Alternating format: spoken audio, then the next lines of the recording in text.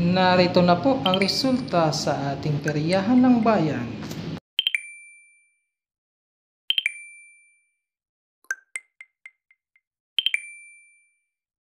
At huwag nyo naman pong kalimutang i-subscribe ang aking channel. Sana all.